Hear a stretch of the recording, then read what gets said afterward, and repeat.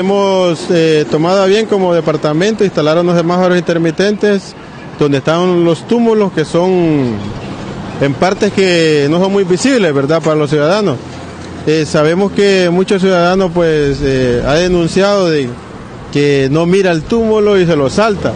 Entonces como departamento le estamos colocando, aparte de las señales que ya tiene, estamos colocando un semáforo intermitente entonces, al ver este, esta lucita ahí, ya nos va a indicar que hay un reductor y para así disminuir lo que es la velocidad del vehículo. Se instalaron en lo que es en la salida del callejón del Librocato, en el primer eh, reductor que está cerca del colegio Franklin Delano Roosevelt y el otro que el otro reductor también que está en la salida del hospital y viceversa, ¿verdad? O sea, colocamos tres semáforos de ida y tres de venida. Entonces la población cuando mira esta luz eh, ya debe disminuir la velocidad porque ahí hay un reductor.